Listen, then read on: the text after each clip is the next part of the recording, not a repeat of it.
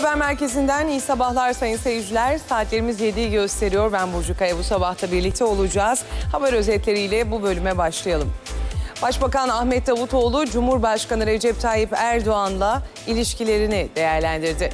Başbakan, yönlendirmeyle hareket eden bir devlet adamı olmayacağımı en iyi kendisi bilir dedi. Show TV'de gündeme ilişkin soruları yanıtlayan Başbakan, AK Parti'de gruplaşma iddiaları için herkese aynı mesafedeyim dedi. Davutoğlu, terörle mücadelenin kamu düzeni sağlanana kadar kararlılıkla süreceğini söyledi. Başbakan Ahmet Davutoğlu'nun seçim çalışmalarında diğer partilere yaptığı bayrak asılmaması ve gürültü kirliliğine karşı seçim müziklerinin çalınmaması önerisine CHP'den olumlu yanıt geldi. CHP'ye olumlu yaklaşımından dolayı teşekkür ettiğini belirten Başbakan, MHP ve HDP'den de olumlu yanıt alacaklarına inandığını söyledi. Şırnak'ın Silopi ilçesinde aileleriyle bayram alışverişi yapan koruculara teröristler ateş açtı. Bir korucu şehit oldu, diğeri yaralandı. Ve Van'ın Başkale ilçesinde yola döşenen patlayıcı askeri konvoyun geçişi sırasında patlatıldı. Saldırıda 13 asker yaralandı. Hakkari'nin Yüksekova ve Mardin'in Nusaybin ilçelerinde de uzaktan kumandalı patlayıcılarla güvenlik güçlerine saldırılar düzenlendi. Edirne'de bekleyen bir grup Suriyeli sığınmacı dün akşam Yunanistan sınırına gitmek istedi. Polis izin vermeyince sığınmacılar eylem yaptı. Kente yaklaşık 150 sığınmacının kaldığı park polis tarafından boşaltıldı. Suriyelilerin bir kısmı İstanbul'a, bir kısmı da Sarıyiçi Meydanı'na gönderildi. Yunanistan'daki seçim sonuçlarının netleşmesinin üzerinden 24 saat geçmeden bağımsız Selenlerle koalisyon kuran Siriza lideri Alexis Tsipras yemin ederek resmen ikinci defa başbakanlık koltuğuna oturdu. Tsipras ilk konuşmasında Avrupa'nın sığınmacıları ilk kabul eden ülkeleri korumak için bir şey yapmadığını söyledi. Ve Beşiktaş Ankara'da puan kaybetti. Spor Toto Süper Lig'de Gençler Birliği sahasında Beşiktaş'la 1-1 berabere kaldı. Haber özetleri böyleydi. Şimdi ayrıntılar.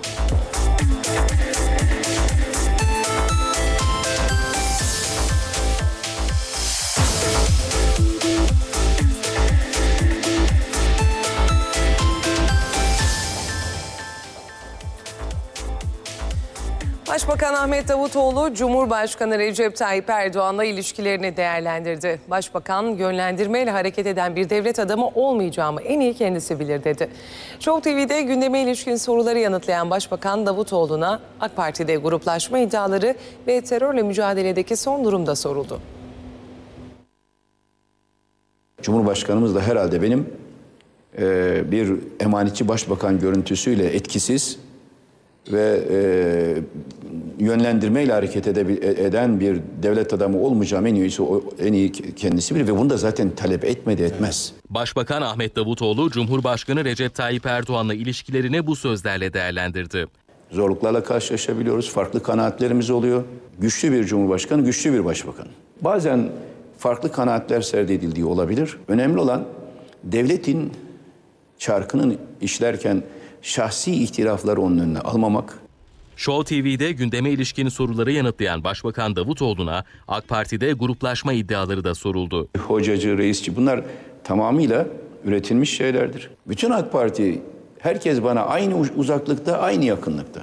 Başbakan Davutoğlu terörle mücadele konusuna da değindi. Mücadelenin kamu düzeni sağlanana kadar kararlılıkla süreceğini söyledi. Başbakan, Türkiye 90'lı yıllara döndü eleştirilerine de yanıt verdi. 90'lara dönen PKK'ydı. Devlet 90'lara dönmedi. Devletin işlediği tek bir faili meçhul cinayet yok bugün. Bir tek hukuk dışı bir davranış göstersinler. Bir iki yerde yanlış uygulama olduğu anında tahkikat açtırdık. Vatandaşlara e, müdahale veya şey konusunda, davranış konusunda tek bir aksama olursa hesabını sorarız. Başbakanın hedefinde Cudi Dağı'ndaki operasyonları durdurmak için yürüyüş yapan HDP'li milletvekilleri de vardı. Bu milletvekillerinin Cudi Dağı'na yürüyüş gerekçeleri ne? Kime canlı kalkon alıyorlar? Cudi Dağı'na yürüyenler teröristler aynı işi yapmış olurlar. Van'ın Başkale ilçesinde yola döşenen patlayıcı askeri konvoyun geçişi sırasında patlatıldı. Saldırıda 13 asker yaralandı. Hakkari'nin Yüksekova ve Mardin'in Nusaybin ilçelerinde de uzaktan kumandalı patlayıcılarla güvenlik güçlerine saldırılar düzenlendi. Van'da teröristler askeri aracı hedef aldı. Başkale Hakkari Karayolu'nun Çamlık mevkiinde yola döşenen el yapımı patlayıcı askeri konvoyun geçişi sırasında patlatıldı. Saldırıda bir kirpide bulunan 13 asker yaralandı. Hastaneye kaldırılan yaralılardan ikisinin durumu ağır. Bölgede operasyon başlatıldı. PKK'lılar Hakkari'de de Yüksekova Şemdinli Karayolu'na bomba yerleştirdi. Hedefte zırhlı bir polis aracı vardı. Bomba devriye görevi yapan araç geçtikten hemen sonra patladı. Zırhlı araç hasar gördü, yaralanan olmadı. Patlama o kadar şiddetliydi ki 4 metre genişliğinde geniş bir çukur oluştu. Bazı binalarında duvarları hasar gördü. Enerji hattının zarar görmesi nedeniyle bölgeye bir süre elektrik verilemedi.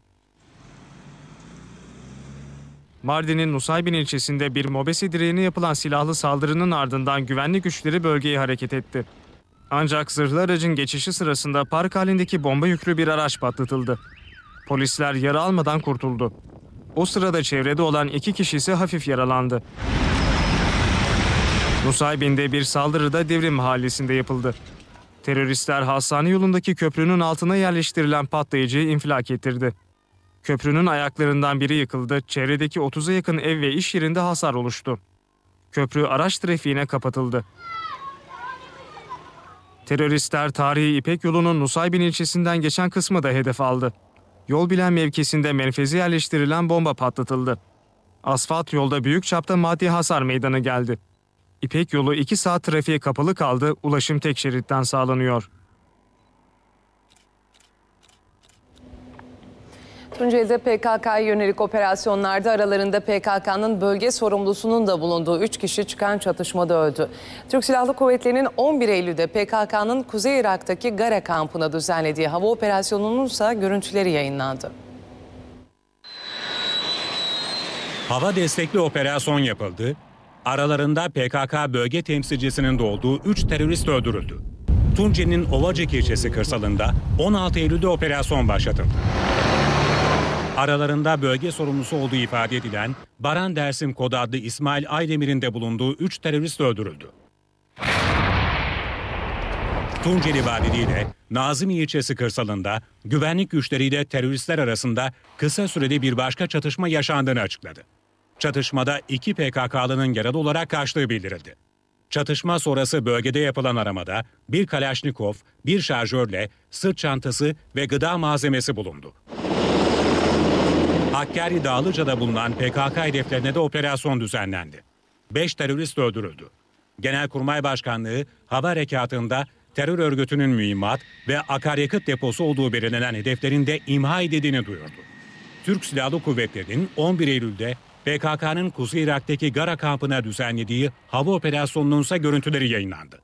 Görüntülerde teröristlerin barındığı mağaraların, mühimmat ve erzak depolarının TÜBİTAK'ın geliştirdiği delici harp başlığı taşıyan nüfuz edici bombalarla imha oluşları görülüyor.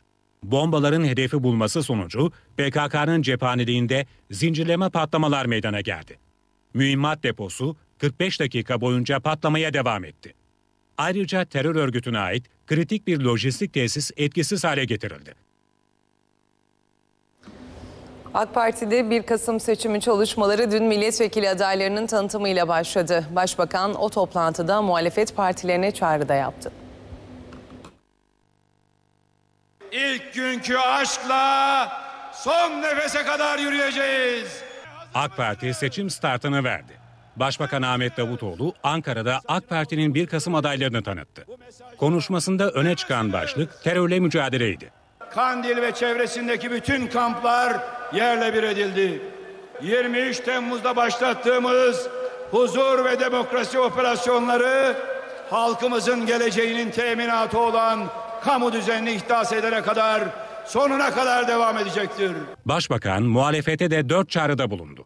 Gelin seçim kampanyaları başlamadan hep beraber bir ortak deklarasyonla bu seçim kampanyasında her türlü şiddete karşı omuz omuza duralım. Gelin demokratik rekabeti siyasi nezaket kuralları içinde yapalım. Özellikle de bütün milletimizi temsil makamı olan Cumhurbaşkanlığı makamını siyasi tartışmaların dışında tutalım. Eğer kabul ederlerse seçim ofislerinin dışında bayraklama yapmayıp çevre kirliliğini engelleme, engelleyelim.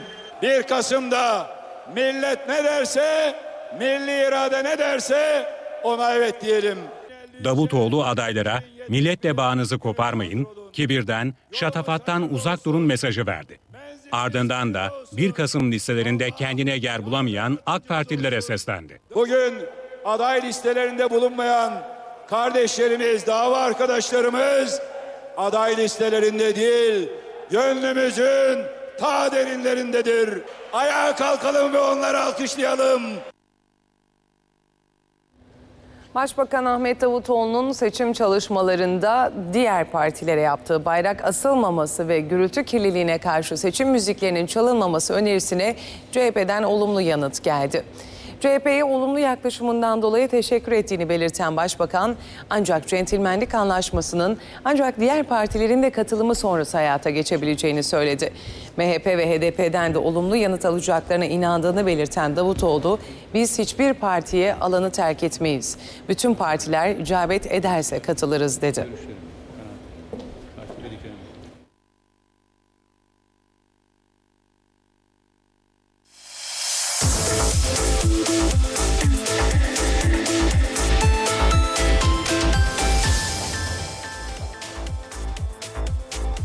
Gazete manşetleriyle yayınımıza devam ediyoruz. Milliyet gazetesiyle başlayalım.